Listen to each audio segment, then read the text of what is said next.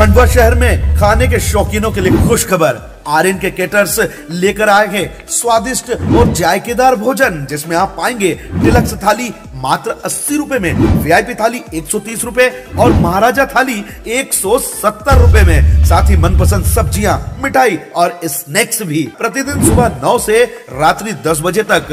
Free home delivery और वो भी हॉट बॉक्स में। साथ ही मासिक टिफ़िन सुविधा भी। उपलब्ध है। हमारा फ़ोन नंबर है nine six double four nine six zero five zero four. Aryan के केटर्स, शुभ परिसर, जसवाड़ी रोड, खंडवा।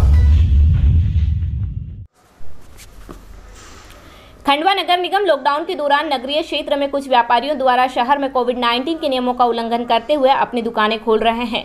वहीं नगर निगम ने आपशक्ति दिखाते हुए ऐसे दुकानदारों के विरुद्ध कड़ी कार्यवाही कर बुधवारा में पाँच कपड़ों की दुकानों को सील किया गया, जिसमें Prakash jeans house Chetan fashion Prem cosmetic एवं अन्य दुकानों को सील किया गया है। जानकारी के मुताबिक बताया जा रहा है कि यह दुकानदार अंदर से माल की बिक्री कर रहे थे।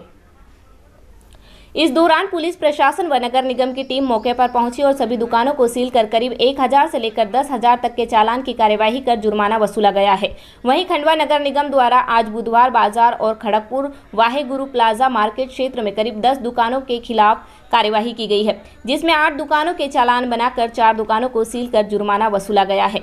जिन व्यापारियों को शासन के नियमानुसार होम डिलीवरी करने के लिए कहा गया था, वह भी दुकान खोलकर व्यवसाय कर रहे थे। वहीं कुछ ऐसे दुकानदार हैं जो नियमों का पालन नहीं कर रहे हैं।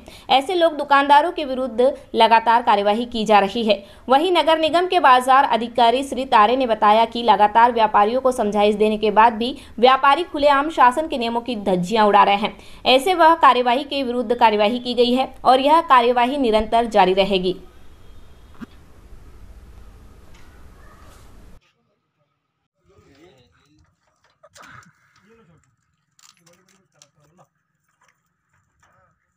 मस्ती